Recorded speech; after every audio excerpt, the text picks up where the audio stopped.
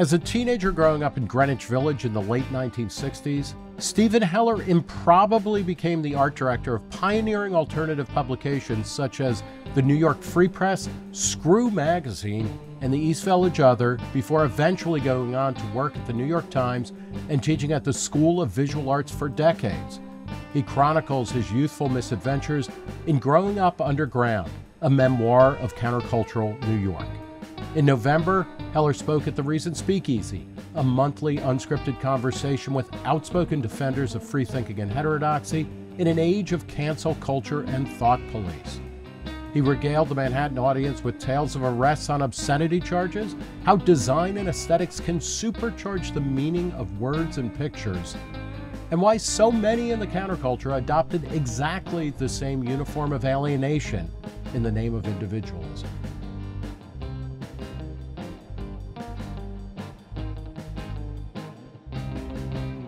Well, uh, ladies and gentlemen, I want to uh, thank you very much for coming out to the most recent uh, Reason Speakeasy. Um, today, we are talking with Steven Heller, the legendary art director and graphic designer and author of the phenomenal new book, Growing Up Underground, uh, a memoir of counterculture New York. Steve started out in the late 60s as a teenager working at bleeding edge alternative outlets like the New York Free Press and Screw Magazine, of course, before becoming the art director at the New York Times op ed page for a bit and for the book review section for many, many years. A longtime faculty member at the School of Visual Arts, Steve brings in a reverent and uniquely knowledgeable position, uh, perspective to discussions of how alternative and establishment publications influence social and cultural change, a fierce defender of free speech and the First Amendment. He didn't just witness the past half century of boundary busting changes to media uh, he helped make it all jump off the page and grab our attention. Uh, Steve Heller, thanks for talking at the Reason Speakeasy. Thanks for inviting me. All right, so let's start with the memoir, uh, which also I will be sending all of you a, a, discount code where you, if you order it from the uh, publisher, from Princeton Architectural Press, uh, you can get 20% off. So it's real savings in this inflation and lots era. of gratitude from me. Yes, um, but it's a fantastic um, personal story, but it's also a story about a particular time and place. Can you? What's the kind of uh, elevator pitch for your memoir? The elevator pitch is: I had ten good years, and uh, I kept telling stories about them, and at a certain point, I since I've I've written or edited 200 books or so. I thought it was time to uh, get my story on the page. And uh, various people were encouraging me to do it. And um, I wanted to kind of cluster the the years together how it's possible to get somewhere without going to college um, and still be part of the cultural scene. And um, and I like to tell stories. So essentially, that's it. There was no elevator pitch. There was okay. just calling up the editor and saying, "I have a memoir that connects me to graphic design." Yeah. And since they publish graphic design books, it happened. So the ten good years start what what year did that start in? 1966. I was uh, 16. So set the uh, stage because you grew up in Manhattan. I grew up in a small town in Manhattan, yeah. Stuyvesant Town. So what uh, what was 1966 New York like? I know there's a couple of other people who uh, were here at the same time. Tell us, those of us who uh, don't remember or were. Well, 1966, you could drive a bus through uh, the Washington Monument, the Washington uh, it, Square, the arch, arch Square, yeah. Um, which was, you know, a big thing because if you were in the path of a bus, they didn't stop. Um, Dylan was just coming on the radio with Positively Fourth Street, mm-hmm. and uh, there was a a kind of anticipation of something happening. The, the Vietnam War was heating up. Uh, there were groups that were founded to protest the war. Civil rights in New York was actually beginning to start happening as a movement. Um, hippie culture was gradually taking over the East Village, or what we used to call the Lower East Side. And uh, music was making a, a major splash. Uh, Fillmore East, the Anderson Theater, the Electric Circus, uh, the New York Academy of Music, where I pro- co-produced with uh, one of my the newspapers I was with, oldies shows at a 200, 2,500 seat theater. What was an oldie show in 1966? What were you? Uh, Doo-wop groups. Yeah. So like from the late 50s From the late early 50s. 60s, yeah. What Fats Domino, uh, Lloyd Price, you uh, the Dell Vikings. things uh, like something was emerging. Um, you know why? Um, what you know? You're 16 in 1966, so you were born. I'm, this is the math brain of a of an English major. So you were born in 1950. Yep. Um, yeah. Why? Why was the music bursting? Why? What? What was in the air or the water that Well, made things happen? what was in the air was the Beatles. And just growing from 14 to 16, uh, I had gone to Sweden for a couple of months while my, my parents traveled all over the world and they were going to Russia on a sightseeing tour and they used to leave me at home. They never invited me. Uh, still pissed. Um, but this time they sent me with a friend to Sweden who was Swedish. And Sweden's youth culture was considerably more advanced, uh, as was England's, than what was going on in the United States. The beat generation had come to an end, and there was this transitionary period between beat and hippie, uh, exemplified by people like Ed Sanders and a group called the Fugs. Uh, Who which also had a bookstore uh, down in the Greenwich Peace bookstore was Ed Sanders' book bookshop, And he ran an ran a journal? magazine called "Fuck You," A journal of the arts. a journal of the arts. Uh, the East Village Other had begun, and it was around Tompkins Square. And so, when I was 15, I ventured out of my uh, little town, Stuyvesant Town, across 14th Street to Avenue A's, B, and C, uh, Alphabet City, and uh, there was a mixture of junkies and hippies. It was not a safe place to be, but at the same time, there was an incursion of younger people who were looking for cheap places to live. Uh, nobody had locks on their doors because the junkies would get in anyway. So, one of my close friends, uh, my mentor, who I write about in the book, had an apartment where he just left the door and window open so that they could come in, take what they needed, and leave. Uh, being born middle class and a little bougie in Stuyvesant Town, I thought that was not the right thing to do. But uh, he was he came from elsewhere outside of New York, and he became friends with a lot of these uh, gang kids. You in the book you talk about kind of escaping in a way. It's kind of the last gasp of straight America, right? Of of pre Technicolor '60s America. What was the school you went to? And you know your your lovely hair that's in the in your cover photo was shorn off. What tell that story and what did that signify? Well, to tell that story, I have to first say that when I was uh, 11 and a half, uh, I was taken to NYU to be tested, and I was given a uh, TAT test, uh, thematic apperception test. And it, unlike a, a Rorschach test, it's not about interpretation, it's about narrative and they show you f- pictures, very detailed uh, black and white pictures of scenes that are happening. And apparently, they put certain items in the picture that are supposed to trigger a response. Well, I saw a picture of a guy with his hand over his head, and behind him was a naked woman in bed, looked like she had been strangled. Now, this isn't a kind of picture you show to an 11 and a half year old because I couldn't stop laughing.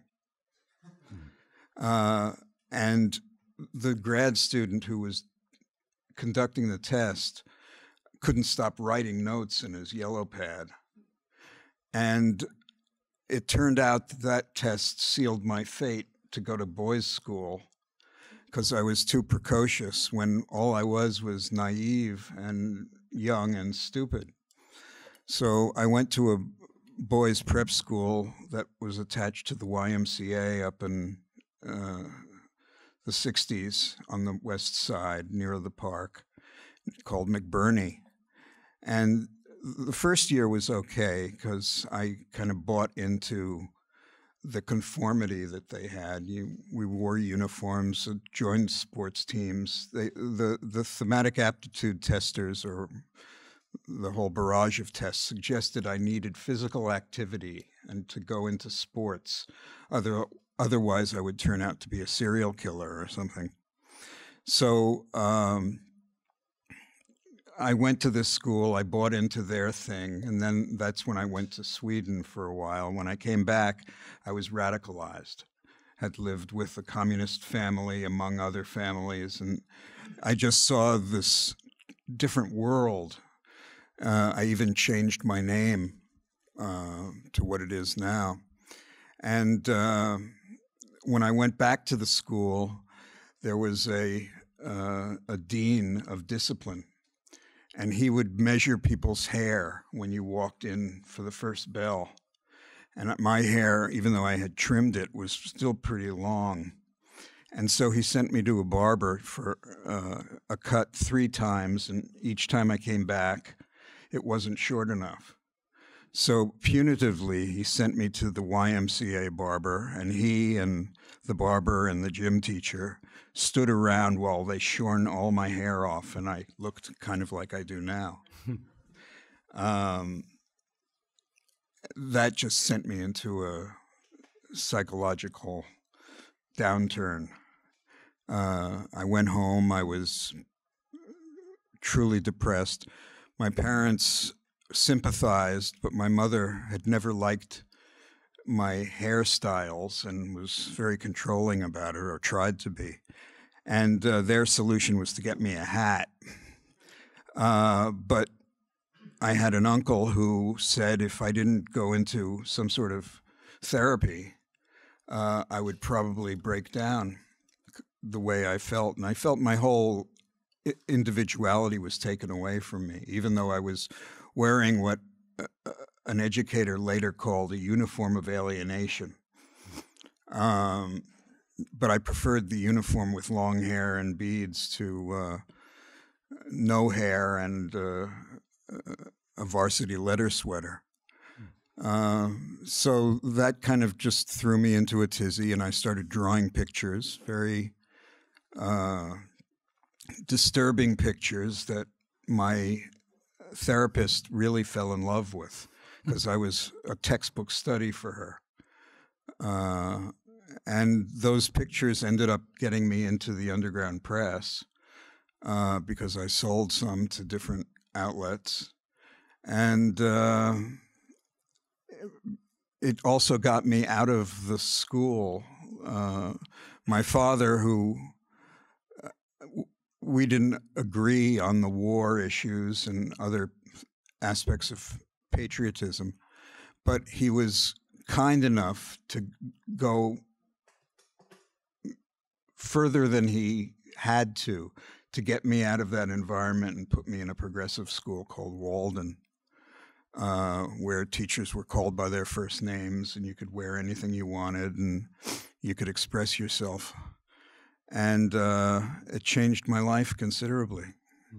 What do you? Um, what do you?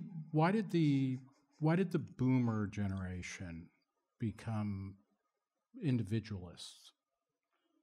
Um, you know, in, en masse. Uh, you know, obviously there's a lot of contradictions here, but you, you know, you were raised by people who were, the early boomers were raised by people who had grown up lucky to, you know, survive the Depression, World War II, oftentimes, and then kind of moved into a, a large scale, um, uh, you know, level of middle class wealth or rising wealth. But they, you know, typically your parents, my parents, they lived conformist lives. Um, why did their children become these monsters who were wearing long hair and love beads? Well, I think it's different for different cultures. We lived in New York City. Your folks were in Hell's Kitchen. My folks were in Stuyvesant Town. Uh, living in New York City, you're a different breed. It's an island off of America. Uh, even though my parents were conformists, they were Jews, so that they were discriminated against. Uh, they were the children of immigrants, so that they had to succeed because that's what their parents wanted them to be and do. And uh, while they were liberal enough not to impose too many restrictions, uh, it, it's all contextual. I felt that I was being confined by their uh, their own history. You know, if I didn't go to college, I would be a a failure. If uh, I didn't get good grades, I wouldn't be able to go to college. It was a chain reaction. Uh, you know, most people who lived in New York and I think in a middle class environment uh, rebelled against the middle class environment, that it felt privileged on one hand and not privileged enough on the other hand. And I also, and I'm, i think this is also true for native New Yorker kids who were within that milieu. Uh, I knew a lot of kids whose parents were famous. I knew a lot of kids who went into show business. I wanted to be an, an actor, so I went on auditions. Uh, many of my friends went to professional children's school. Uh, many of them ended up as druggies and all sorts of things. I somehow managed to avoid drugs of any kind, including grass, except now I use CBD on my legs because I have arthritis. Um, but I think when you have too little, you rebel, and when you have too much, you rebel. Mm. And even when you have just enough, uh, my father and I would argue over certain issues of politics, but at the same time, he never voted the Democratic Party. He voted the liberal line, mm-hmm. which I don't even think you can do anymore. Uh, my mother hated the way my hair looked before I started growing it out, when I had a pompadour and a duck's ass. Mm-hmm. And uh, she hated it when it was long and was embarrassed by it. In in that seam of the '60s, you know, where 66, so it's not, you know, it's not quite the '60s, but it's clearly not the '50s anymore. Did you, and in New York, and you're talking about a place like Tompkins Square, um, or you know, even uh, I guess Washington Square by that point, was there a sense that the like one version of the city or one version of the country was dying and something new was being born, or was it? You know, was there something beautiful like in you know in the mushroom that was Tompkins Square Park, where it's a bunch of hippies and a bunch of you know drug addicts and muggers, and that's that's what was good, or was it that this was the soil in which something new was going to? Well, emerge? I really had no sense of that. I just had the sense that there was something that I saw in a different country that made me want to be like them. Uh, coming back to New York, I had to disguise myself. Uh, I had the long hair and all that. And in order to get out of Stuyvesant Town, I'd have to put it under my collars mm. or pull it back in a ponytail and hide the ponytail because literally people would come up to me and start pulling on the hair. I mean, there was this real dichotomy between an alternate culture and what seemed to be the mainstream culture. And just by virtue of trying to walk from A to B, literally A to B, Avenue A to Avenue A to Avenue B, I had to become a different person. Yeah. And is it at all ironic, uh, Sweden, when people think of conformity? Like all Swedes think the same, they all look the same, they're all named Lars, and, you know, I didn't meet any Larses, okay. Although my godson, who I haven't seen in 50 years, is named Lars. Well, maybe it's time to get in touch with him. Um, talk about the publications that started coming out. What was what was going on where there was this profusion of alternative media? You know, in in the mid to late '60s, obviously, uh, uh, alternative newspapers. The Village Voice was founded in the mid '50s, right? Right. So, you know, you you mentioned the East Village Other. What was that, and where was the energy? You know, that was driving that kind of publication. Well, there was a bohemian culture, and there was a Greenwich Village that was straight and narrow, and it was represented by the villager. So the Village Voice was the alternative to that. It was uh, Mailer, um, what's his name from other scenes? John Wilcock and one other partner. Nat Hentoff, yeah, thank you. And Ed Fancher. Um, and so there was the beginning of this bohemianness. Jules Feiffer was my hero. I later became a friend and an editor on one of his books. Um, there was a need to break away from a generation. And it, it was like the old left and the new left. Mm-hmm. Lots of the old left became part of the Irving Kristol commentary crowd and mm-hmm. turned right. I think it was just an inevitable wave that kind of took over. The same way, you know, there was a split in the Communist Party between those who believed in the uh, non aggression pact with Germany and those mm-hmm. who couldn't tolerate it. There was something going on, and I'm not even sure what it is at that time in 1965 66, but there were representatives of a different mindset. And I think for me, it was governed by television. You know, when I saw uh, Hugh Hefner's sh- late night show and he would have Lenny Bruce on it, that seemed so different than watching uh, Red Skelton and Ed Sullivan. And there was just this cultural wave that kind of moved through TV despite itself.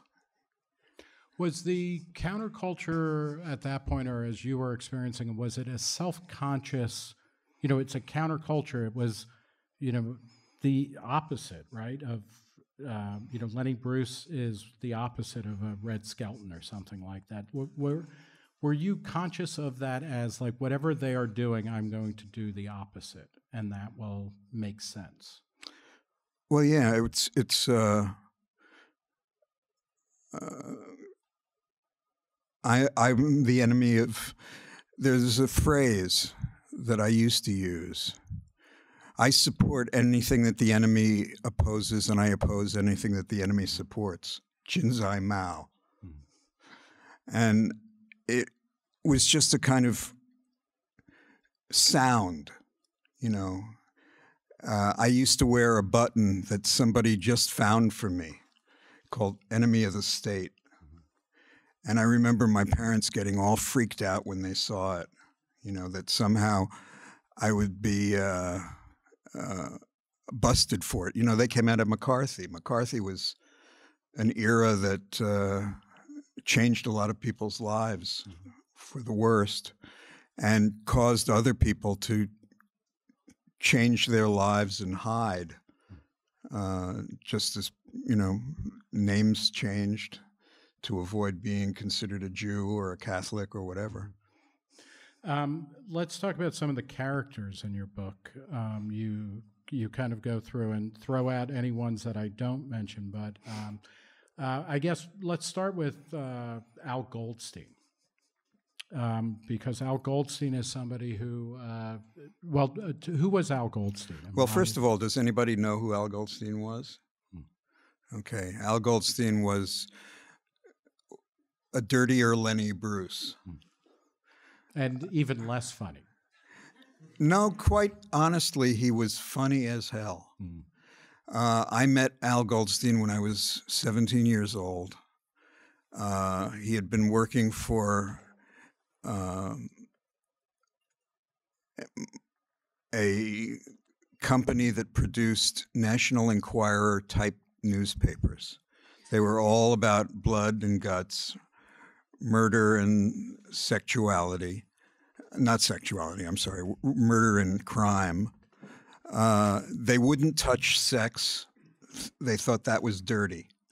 But uh, ice pick murders were just fine and dandy. And Goldstein used to write stories for them where he'd put all our names in it. So I must have ice picked about two or three people in my time.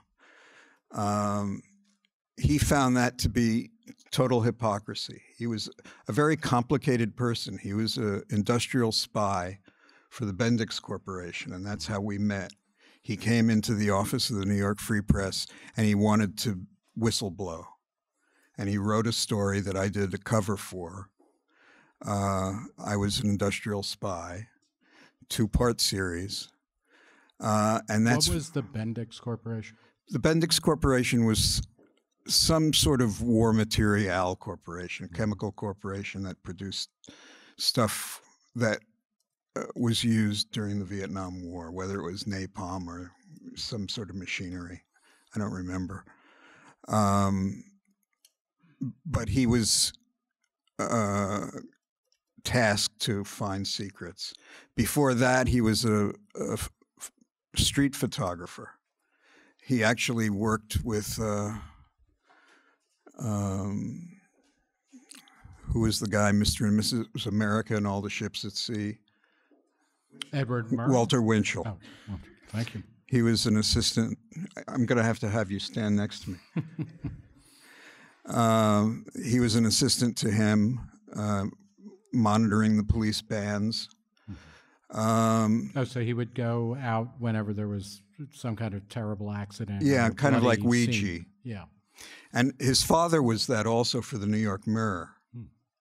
So he had this strange upbringing. He, in the book, I recount that when he was younger, he was a bedwetter and he was overweight, and his mother took him to a doctor, and he later found out she was having an affair with the doctor, and he just was totally messed up. Hmm. But he was totally messed up with a, a great sense of humor and it's it's as if you t- made a, a Frankenstein's monster by taking a libido, taking self pity and self effacement, and throwing it all together with other personality flaws and deficits, and you come up with a guy who was really basically a, a comedian who wrote very funny stuff. Uh, and with an editor, he could have been a really funny writer uh, who had this brilliant idea to kind of commercialize sex, to say, Playboy has become too tame, Esquire gave sex up, uh, the men's magazines uh, were just bad copies of Playboy, Escapade, and the like. Uh, and he, he went and down and dirty and started a sex paper, which was called Screw. which was called Screw the Sex which Review. I know uh, when I started reading, I guess the Village Voice in the '70s, the you know when they would show porno ads, they would always say like you know four stars, and they they wouldn't write Screw, they would write Al Goldstein's back because even then, right. He, he had little a, bit of- something called the Peter meter. yeah, So they'd do four Peters or two or whatever. Um, so, what was Al Goldstein doing hiring a 17 year old kid to be his art director? I happened to be there. I left high school, graduated. Somewhere there's a diploma. Uh, and I, I was encouraged by an art teacher at Walden who seemed to have the same cloud over his head as I had over mine. And he encouraged me to take my work around, and I got a gig at an underground paper called The Avatar, where they used a number of my drawings, which were mostly Christ figures with uh, long hair, beards, and no genitals. Uh, and they were doing Christ like things, like being crucified, uh, which seemed like an interesting thing to draw. So, like Jesus, you were another Jew with a Jesus complex. I was. Uh, I I didn't have a Jesus complex. I figured I felt Jesus had a Heller complex. Um, and I guess it's time to point out that in the book, I, uh, you reproduce that uh, thematic apperception test photo or drawing that started it all, and it's a perfectly happy couple. They're, it's I'm joking. Of course, Yeah. but, um, so what um, you know? Uh, what did you do for uh, for Screw then? Well, Screw was being founded at our typesetting machine.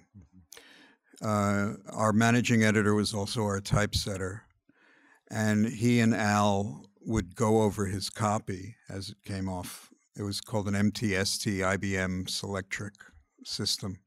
Used the the round balls that the IBM Selectric typewriters used to use, but it was run by a magnetic uh, tape. And uh, they just started talking. My office was adjacent to the typesetting machine, and um, uh, I didn't know what they were talking about. And then uh, I think it was Jim Buckley who he was talking to stuck his head in my office and said, "You want to paste up a magazine?" And I said, "Sure," because I didn't know what I was doing anyway at the Free Press. I had gotten that job on the sly. And uh, I did the first issue of Screw, which is in one of those slides. We'll show those in a second. Uh, uh, talk a little bit about the Free Press, the the New York Free Press. What was it free of? It was free of uh, hard news. Uh, it, it was actually the, the local village voice at one point. It was the West Side News. And the person who became the publisher took it over from the people who owned the West Side News, changed the name, hired a, a legitimate editor who was also a bartender at the 55, which is next to the Stonewall. This was before the Stonewall happened. And uh, he was editor of Arts Magazine. But uh, something happened and he was no longer editor of Arts Magazine. So he was kind of like an interesting character. He looked a lot like Ernest Hemingway. He was older than the rest of us, but older then just meant he was in his 30s. And he had a, a, a newsy intuition. So he wanted to make a paper that was a muckraking journal. He wanted to do stories that weren't being covered by the New York Times. He would have been very happy doing the Pentagon Papers. Uh, but instead, he did local news that didn't make it into the metro section. And some of it was for real, and some of it, I'm sure the writers made up. Uh, a lot of the fake news that went into these publications turned out to be true, which was the irony. I mean, Uh, can you give an, an example of that? well, N- Nixon was once he came into office was uh, attacked on a regular basis for things that were speculative. You know, his incursion into Cambodia and things like that, and what was going on with the CIA on campuses. And these were things that weren't being proven in publications like the New York Times, mm-hmm. but there were publications like Ramparts and Evergreen mm-hmm. where they were, in fact, covering these stories. and the Free Press wanted to cover similar stories. And if they didn't have the story, they would make it up. Well, they would come make it up. true It wasn't as crass as that. They would piece together bits of information. Like one of the uh, uh, stars of the paper uh, was the guy who was the uh, Mark Lane, who was the uh, Kennedy conspiracy theorist. And his theories were not all that out of keeping with the truth. I mean, the the Mm. answers haven't been found yet, but He was certainly right to question. he was right to question them. Yeah. But also, we had on our uh, as a contributing editor Eric Bentley, who Mm-hmm. ran, who was the Brecht translator, and he ran uh, a club called the DMZ uptown. Uh, Gregory Battcock was our art critic, and he was pretty uh, important for contemporary art. Roger Greenspun, who was also a film critic later at the Times. Did you have a sense of anything being possible, or I mean, because you know, in part of the book, it, it's almost like you would go out on a random walk and you would stumble across somebody who was uh, just either living a bizarre lifestyle or starting something that would become meaningful. Um, everybody could do anything. It, it was, I mean, there's a section in the book where I talk about our dealings with the mob. Um, I was so young, I didn't know to be afraid of these guys who were our distributors, basically. and there's uh, the distributor for uh, for Screw magazine. They were the distributors for all the underground yeah. papers. And then Screw published uh, a, pa- a magazine for a while called the Mobster Times. We published Mobster Times. I was a co-publisher of that. But that which was being distributed by the mob. No, that was being distributed by Curtis, which distributed uh, Saturday Evening Post. But they were going downhill at the time and they needed some other properties. And they took on our Mobster Times thinking that uh, they wouldn't have to spend much money because they weren't going to invest much. But it would be a publication that would turn out to be something like the National Lampoon. They were wrong uh, and they ultimately folded us.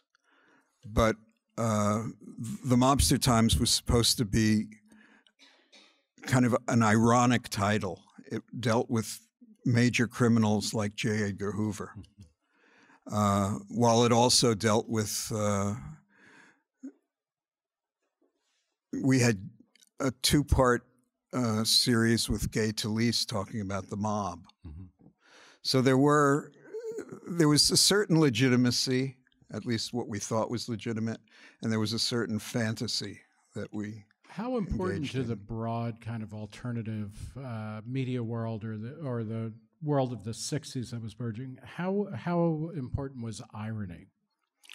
irony was the the basis for everything. It was the crust of the pie, and uh, you know Goldstein was living his life in reality, but it was all based on irony. Um, when he would go out on a date, he would carry a medical bag with him and had all these sex toys in it. And he knew that it was ridiculous, but he did it. So there was this kind of crossing the, the line from irony into reality. And that seemed to be a big part of the counter thing, right? Because Eisenhower in the 50s, to simplify everything, they were not ironic. They were what they said they were. No, there was no irony that I could discern. I mean, there was comedy, there were sitcoms, there was I Dream of Jeannie, there was uh, Mr. Ed, um, but you wouldn't turn to those now as being the height of. It wouldn't, wasn't the Marx Brothers. The Marx I, Brothers. and I guess uh, Mad Magazine is is kind of one of the active ingredients. Mad right? Magazine is It the started in the '50s and is deeply ironic in a, in an America that is pretty plays it pretty straight. it was very progressive for a time when we were terrified of the Red Scare, uh, terrified by the Red Scare. And of course, Mad Magazine had to change its format because of uh, congressional investigations and the Comics Code that was imposed on all comics. Uh, that you couldn't have sex, you couldn't have violence, you couldn't have un- unpatriotic messages, you couldn't have soldiers that committed uh, atrocities. You couldn't have a lot of things that would make kids stay up late at night and need psychopharmaceuticals. Mm-hmm. Um, so uh, let's, uh, you know, and I, I want to go through some of the pages that you include in the book and just talk about what they represent. But before we do that, um, uh, tell uh, tell us briefly who Mel Lyman was and what was your interaction with him. Well, Mel Lyman was a cult figure from Boston. And when you say a cult figure, you're not saying he's like, uh, uh, you know, like a cult filmmaker. He's No, not kind he- of thinker. He actually ran a cult. He was like Jim Jones. yeah. He ran a cult. Somehow he had money because he had a house in Boston, as far as I know. I never went up there. But he had a townhouse on uh, 15th Street off of 7th Avenue. He had followers. He had a band. He ran the underground paper, The Avatar. Um, he had a, a, a charismatic following um, which is why they took my drawings, my Christ-like drawings, because they felt it was consistent with his Christ-like embodiment. Is that the flip side of the individualism that was kind of pushing up in the 60s? I mean, you have people who are individuals, and then it seems you, you couldn't swing a dead cat in New York or LA or San Francisco or anywhere without hitting a cult and a cult leader. Well, that's what I meant by the uniform of alienation. Everything was somewhat conformist, but conformist to a counterculture. Mm-hmm. So Lyman was certainly one of those kind of dangerous characters. Mm-hmm. I mean, I contrast him to Goldstein because Goldstein never tried to create a cult, he just tried to create an audience. And there's a difference between followers and, and an audience. Mm.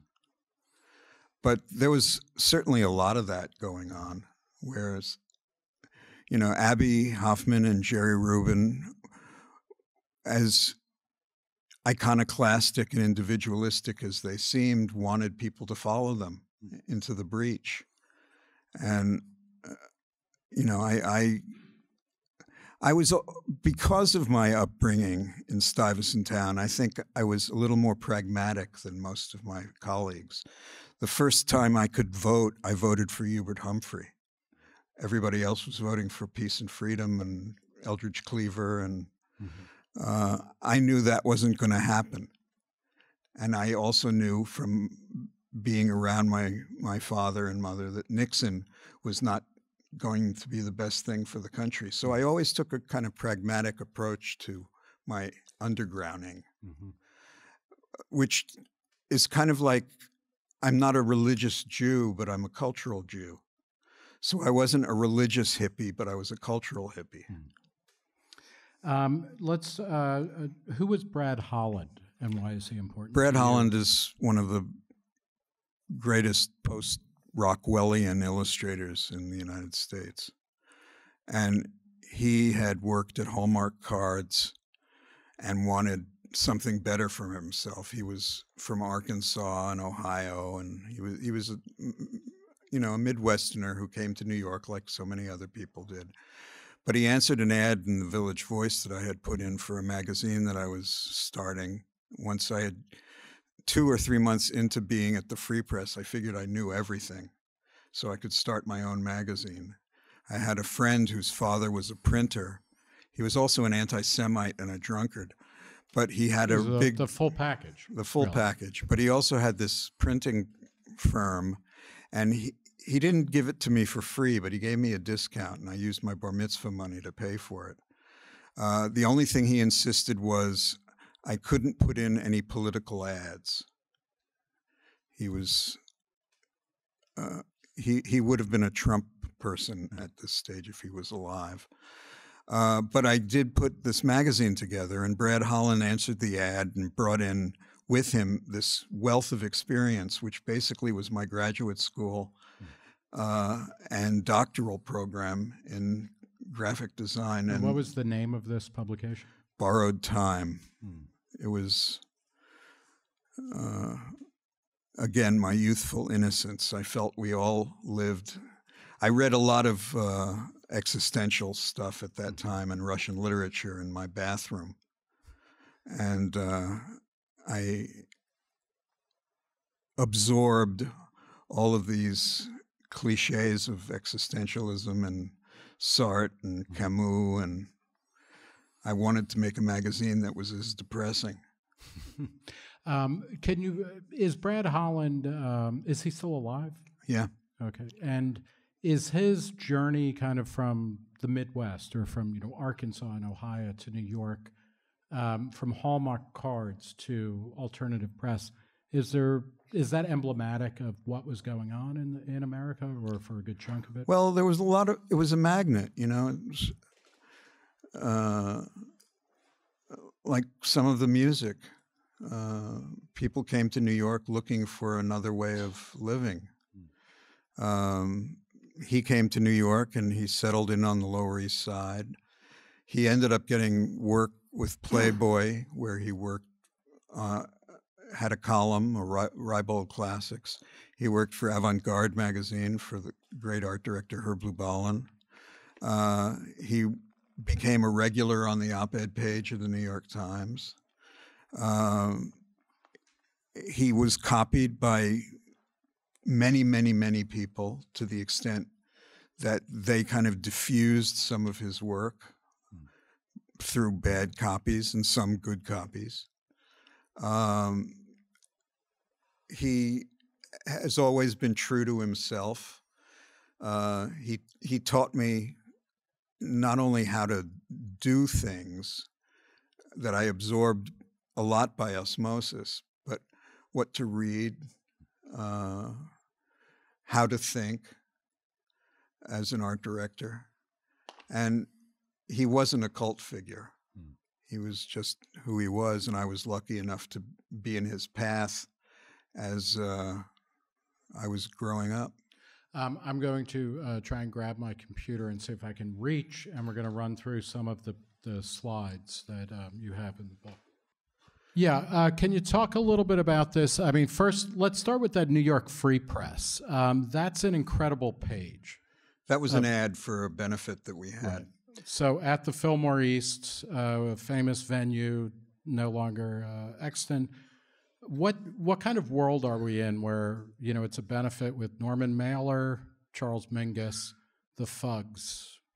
Well, before I entered the world, I didn't have any idea who these guys were. Um, once I entered the world, I was introduced to them, and I found out how significant they were in that period of count, of culture between 1949 in 1963 or 4. And uh, Mailer gave this amazing talk that everybody hated because he was more misogynistic than anybody could have imagined. And he just stood on the stage and he confronted the audience. It was really quite amazing to see. I mean, I never liked Mailer personally, but it was a little piece of history that was never recorded. Uh, it must have been 69 or hmm. so. So, uh, talk about Screw Magazine then. Um, well, also, let me just say yeah. something about Charlie Mingus. Uh, the his wife, who just passed away about a month ago, uh, Susan Mingus, she was our advertising uh, salesperson. So we shared an office together. And I didn't know who Charlie Mingus was. I wasn't a jazz person. My uncle was a very big jazz person and started introducing me to jazz artists, records at any rate. So I had no idea that Mingus was a genius.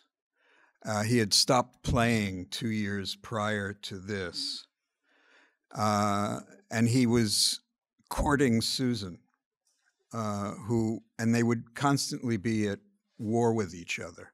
So I became Susan Mingus's beard. Her name was Ungaro at the time. And Charlie would call up, Charles would call up and uh, ask for her. And I would always have to say she wasn't there. And that's when I started developing pseudonyms because he would say, Who's this? And I would give a name. Like, for some reason, I came up with John Bingham, very white bread name.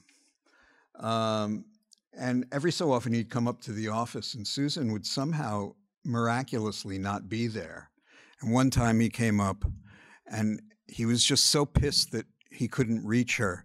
He put his fist, which is three times as big as mine, maybe four, because I have tiny hands like Trump, um, through the wall next to my head.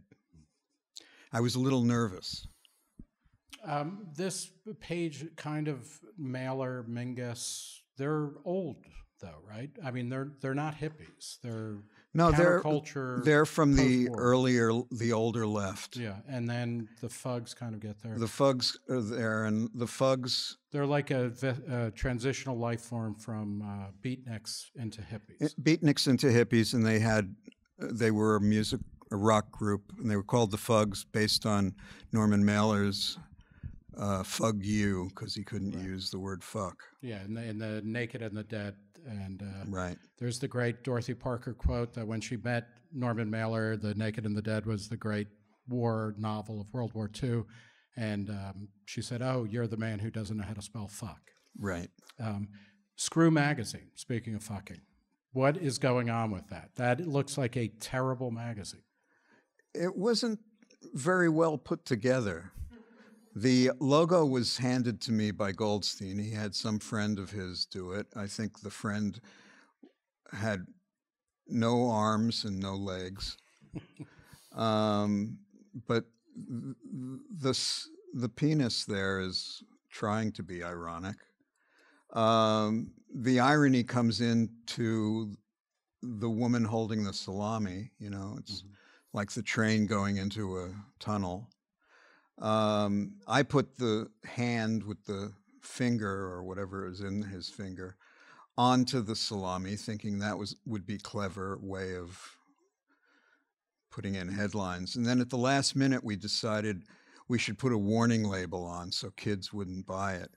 And what happened was with this issue, they printed a few thousand, and Jim and Al distributed themselves. They brought it to all these news dealers. And in those days, you had to be a veteran to be a news dealer in New York.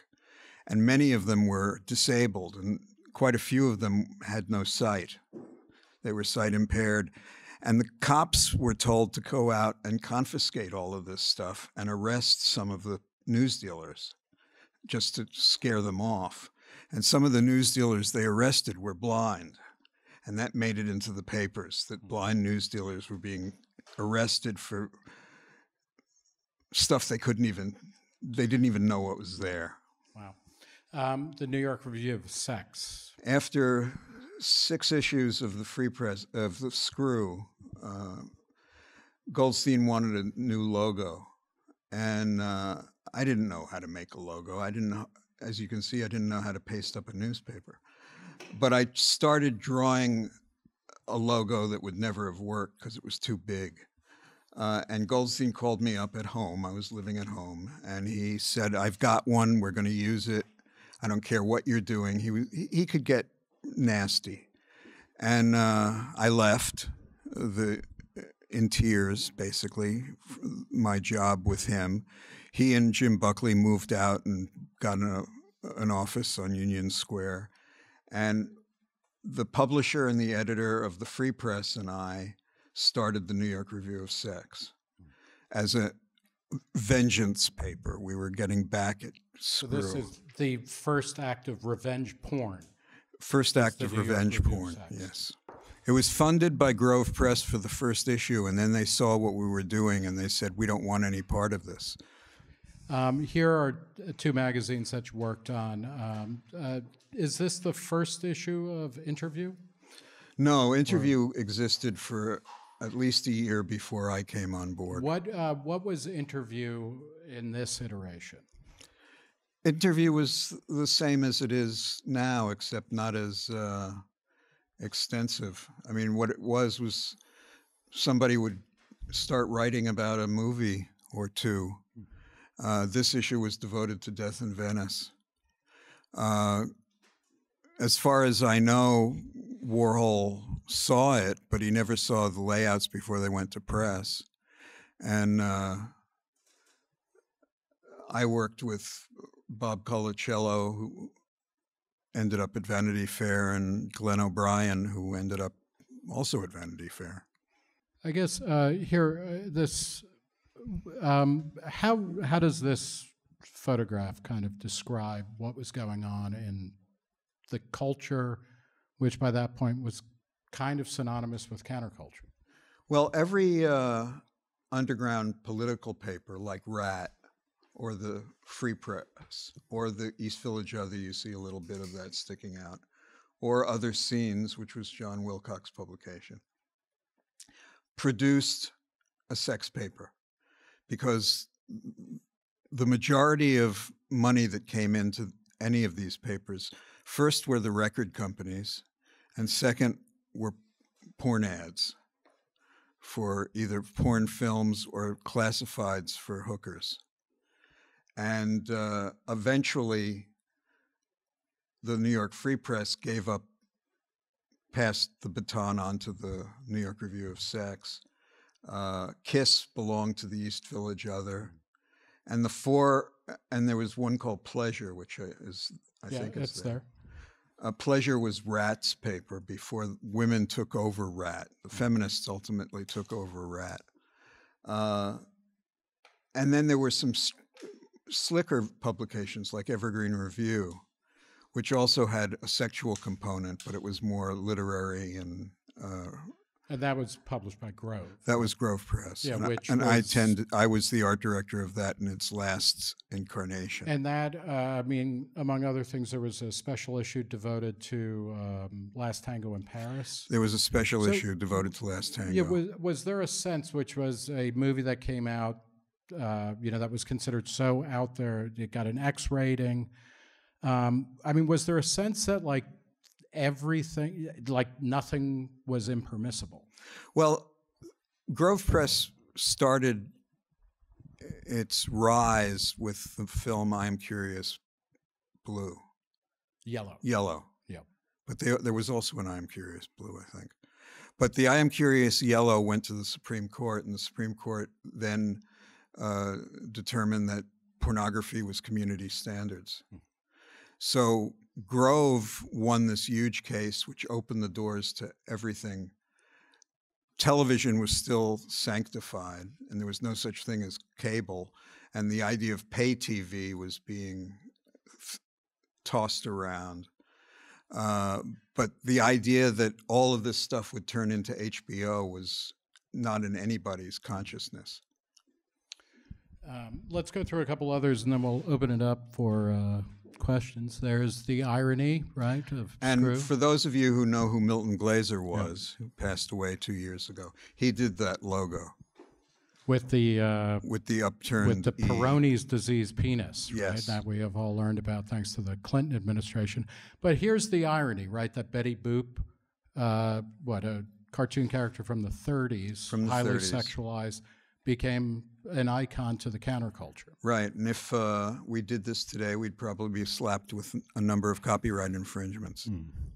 Well, that's Ed Sorel, uh, and as you can see, there's the only sex is coming from the tape recorder, uh, presumably Richard Nixon, and these are the missing 26 or 28 minutes, and that's Judge Sirica listening to the And tape recording. the joke is he's hanging out with Bebe Rebozo, his BB, his, his buddy. Um, let's. Um, Oh, this is Yeah. Kusama.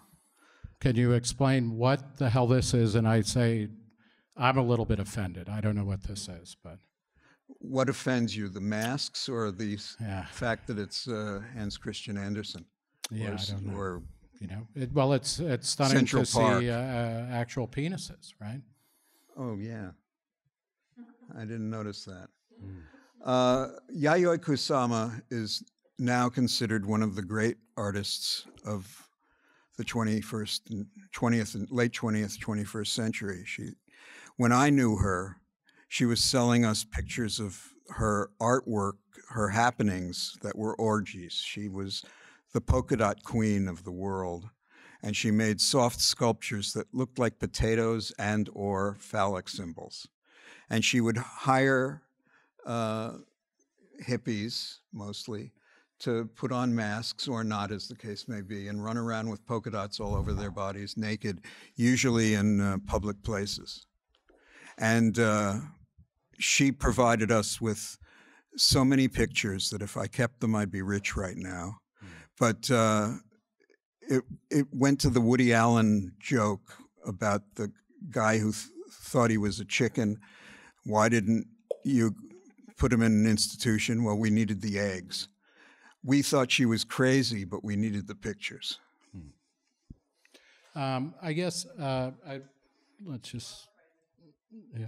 Well, she lives in a mental institution, but on her own terms. She can leave whenever she wants. She leaves whenever she wants. It's across the street from her studio. Uh, here's a couple of uh, East Village others, but let's um, we'll go to questions in a second. I guess uh, one of the things that I want to ask you then is, you know, what what we're seeing here and in your book is kind of that great weirdening of America, uh, where you know suddenly you went ten years before, you know, 1960 and 1970 are kind of like different planets. Um, something broke open, you know, a Pandora's box of all sorts of things. Is there is there an underground now or a counterculture if there isn't the same kind of repressive culture that you grew up out of? Well, I think the repressive culture has been minimized or changed. Uh, there are still taboos, but the underground now are the militias and the survivalists and the anti-Semites and the anti uh, and the white supremacists, who had always been underground, but fortunately way underground. But like cicadas, they come out every seven years. And the left has kind of become ineffectual. Uh, student populations are not organized. We don't have a war that we're all fighting against. You know, th- the idea of patriotism now is uh, so mixed. You know, we're talking about democracy at, as being at at risk, and that's bringing some people together, at least rhetorically. But you know, next Tuesday we may not be sitting here so happy. I, you know, I, I'm confident that it, America will be just as awful after Tuesday as it is now. Um, I think it could be much more awfuler. Um, can I ask you about sex in contemporary culture? Because the 60s, and, and certainly your work in underground alternative publications were synonymous with sex, with showing naked bodies, with Right. orgies. You know, things like Last Tango in Paris is, you know, still kind of a shocking movie because of its frankness about sexuality. That seems to have gone missing. Certainly on the left, you don't hear, n- nobody is a sexual liberationist anymore. No, because it's become part of life. I mean, I'm I'm still kind of shocked by what does go on on HBO and elsewhere. Uh, you know, Playboy doesn't show sex f- images anymore, and it's not like they became born again Christians. It's just it wasn't selling. Uh, and sex scandals are no longer scandals; they're just uh, voyeuristic entertainments. Um, you left this world behind and fell into a ring of hell known as the New York Times. Can you just very briefly? For me, it was the ring of heaven. Yeah. How did that happen, and what was the what's the through line in terms of working at alternative places and then ending up at the New York Times, which is is the culture. Um, how- the through line it- is knowing how to put a newspaper together. It was as simple as that. I was hired by Lou Silverstein, who was the great redesigner of the New York Times, a terrific art director. He saw in my portfolio a whole bunch of screw pages, but they were well laid out and the typography was great. By the time I went back to Screw after going to some other papers and learning the craft, he hired me for that. He hired me because he was had a sense of humor, uh, because he saw that I had a passion for publications, and you know my highest goal in life was to work for the New York Times. Mm. And although there are many people who I was not very happy with. Uh, I mentioned one of them in the book. Uh, there were others who were just terrific to be around mm. and to learn from. And, you know, to be in an office and have uh, brand name intellects walking in and talking candidly I mean, the Times was still full of taboos and still is full of taboos. I mean, only recently did I read in the New Yorker the word fuck. Mm-hmm. They finally learned how to spell it. F U G, right? Right. Yeah, it's just pronounced oddly. Uh, and you were at the New York Times Book Review. Uh, yes. For decades, for 30, 30 years, years, or so. Um, is it fair to say that that I mean, essentially, what happened is the counterculture you know, it pushed back against the culture and then it became the culture. I mean, in terms of the aesthetics, if it's inevitable. Yeah. I mean, when I when Rolling Stone first came out, which is another place I wanted to work, except I didn't want to go out to California because California is going to fall into the sea. Um, they were doing things with photographs that were not being done. I learned later that it was done in the 30s, but hmm silhouetting photographs, and all of a sudden the Times started doing that. Mm-hmm. So the Times picked up younger designers and actually had designers when before it didn't. So those of us who got older, I mean, I left the underground because I used to hang out at Hilly Kristal's bar. I didn't drink, or I or I drank very little, but I hung out there. And when he started CBGB's, he took me over to show me the place, and I thought it was the most disgusting joint I'd ever been in, so particularly the bathroom. So it was time for me to get a suit and tie and hmm. trim my hair. And can I, uh, before we go to questions, um, is you know, you you've kind of described a, a kind of dialectical movement of there's culture, counterculture you know, then uh, thesis, antithesis becomes a new synthesis. Is that liberating, or is that just kind of the same old, same old? Or uh, is there room for something that, you, where the counterculture is not, you know, being against the man, it's saying like, I don't care what you're doing, and I'm just moving out to the frontier. I'm building Burning Man, or I'm I'm just doing my own thing, or is that is it never really it never really well Burning Man has become mainstream. Yeah uh, everything gets co opted.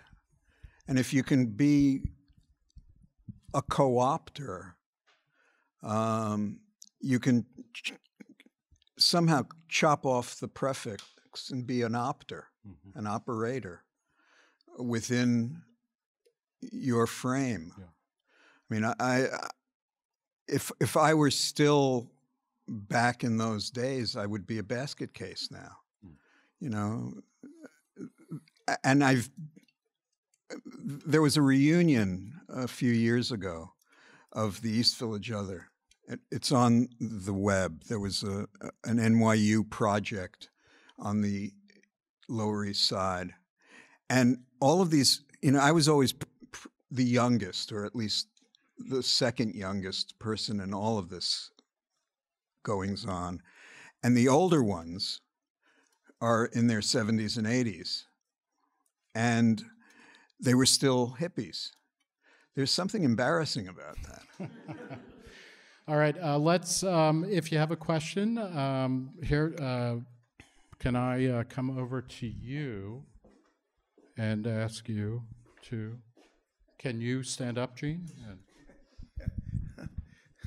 Well, well, thank you for your uh, for your recollection of all nostalgic moments for me. Uh, older than you, and I've uh, been in New York since 1967.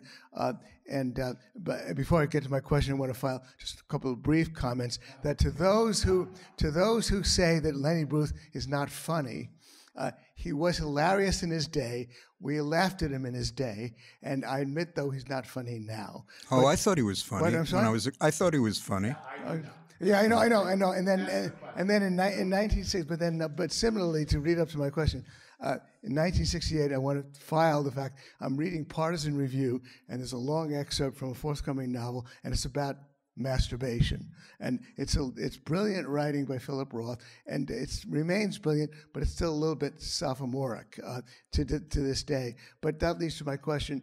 Uh, ironically, perhaps the best re- the best reception of uh, and recognition of the 1960s was that uh, was that Bob Dylan wins the Nobel Prize for Literature. The the guy of the 60s and the 70s wins the Nobel Prize, and Philip Roth is denied he wins. And but then my question is. What, um, what, what do you think aesthetically and otherwise? You've commented a little bit was positive uh, about the inf- about the the long run influences of this time, and then more difficult, which you haven't commented on. What are some of the negatives about the long run influences of this time? Thank you.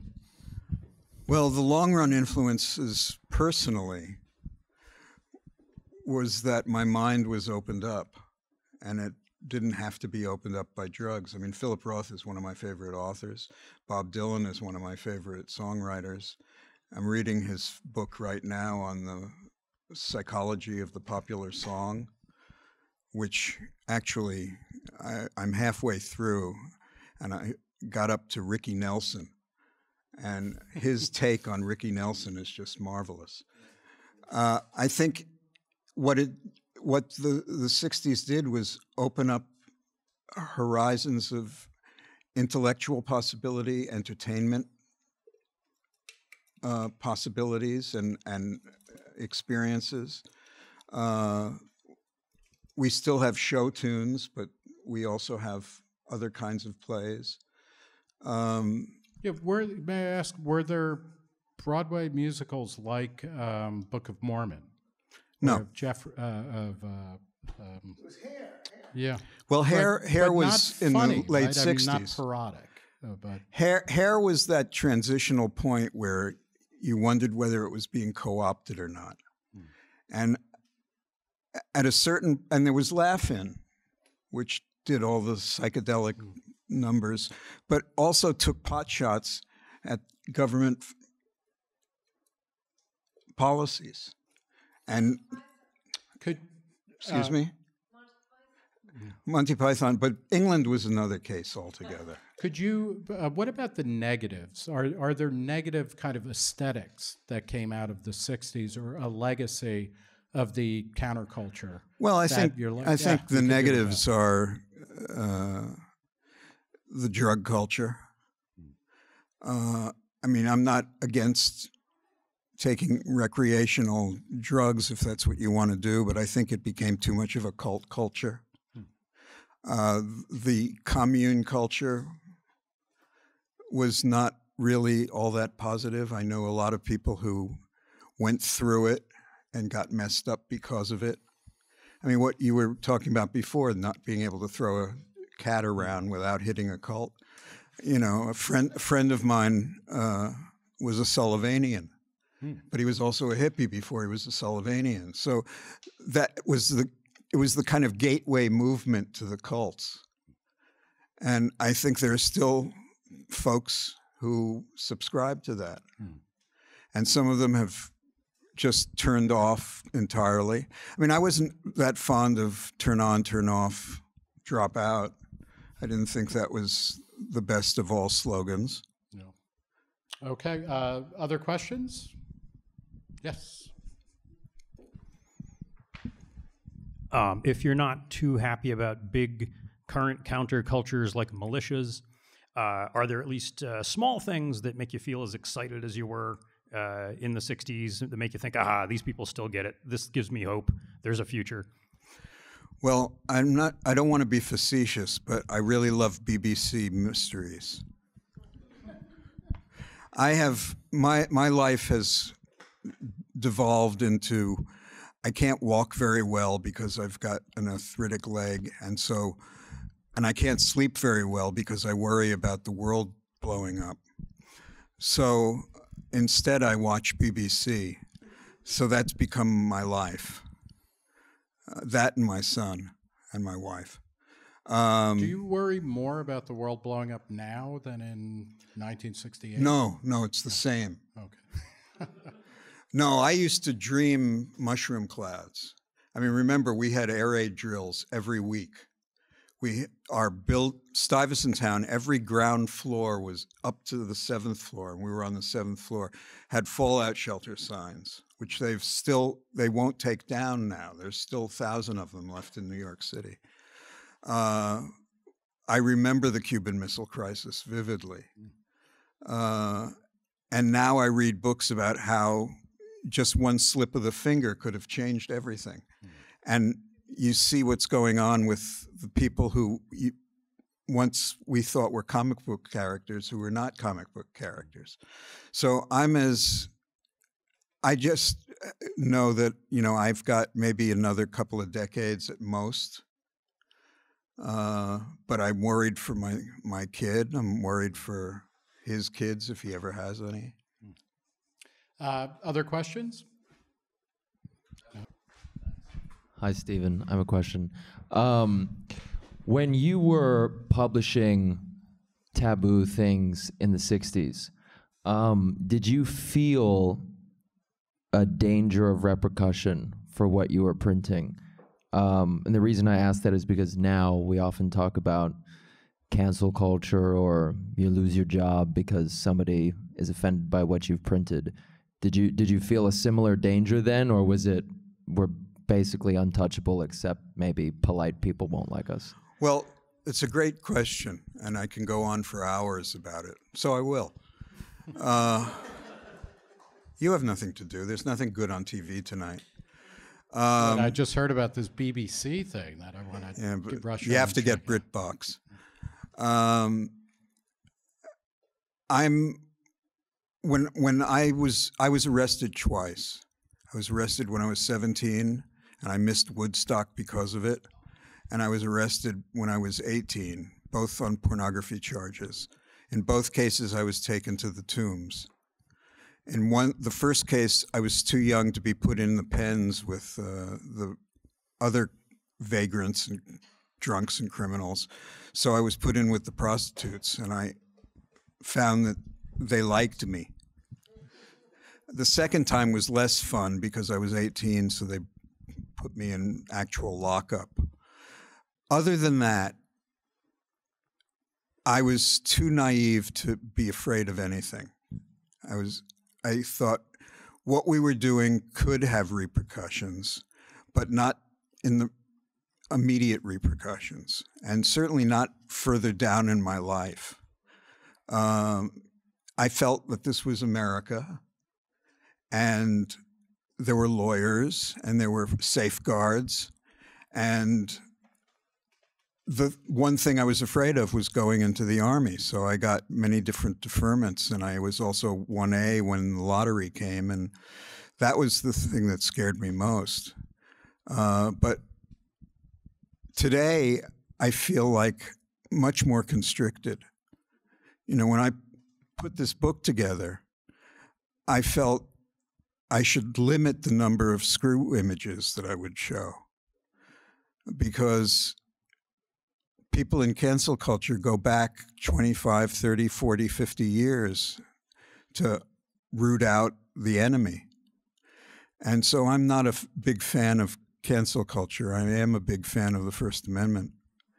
Do your students, I mean, you've been on the faculty of the School for Visual Arts or School of Visual Arts for a long time. Do you feel like, are your students inhibited by that as well? Or have they grown up in a world where they're not even thinking about Screw Well, Magazine? it's interesting that you ask that because the demographic of our student body has changed to a great extent. And one of the changes is we have a lot of Chinese students from the People's Republic of China who are subject to uh, some very harsh penalties should they be caught doing things that they're not supposed to do according to government rules. So I'm all, I'm very careful not to give them assignments. I teach a class on propaganda, and I'm very careful not to give them assignments that might cause them harm. And it's we've never proven this uh, in School of Visual Arts, but it's been discussed amongst faculty in lots of different schools that there are Chinese uh, agents who are also students, but they will report back. So it's we're very circumspect. Uh, then there's also the DEI stuff. Uh, That's diversity. uh, Equity and uh, inclusion. yeah. How does that affect your artistic sensibilities or your practice? It doesn't at- affect my artistic sensibilities because I don't really have artistic sensibilities at the moment. But it does mean that we're always attuned to what we say and what we do. Uh, it it doesn't squelch our freedoms, but it makes us more circumspect about our actions. So simple stuff, which is actually kind of commonsensical. I don't close my door when I'm meeting with an individual, male, female, whatever. Uh, I don't say things that I would say to friends or in public because I don't want to offend anybody. Do you feel that you know? Does that is that filtering out into the culture, and does it make it a less robust risk-taking culture, or is that a loss that is easy to live with? Well, I think it's something that the right is uh, caught on to and is where their counterculture begins. Our cancel culture is their meat, And uh, we're not vegetarians yet. not yet. Um, I think we're going to leave it there. I want to thank Steven Heller, the uh, author of most recently your 201st book, uh, Growing Up Underground. Actually, there are two others coming out next month. My God, this is, it's like a bodily function. You could call it that. Yeah. Thank you so much, Steven Heller. And thank you all for coming out to the Reason Speakeasy. Thanks so much.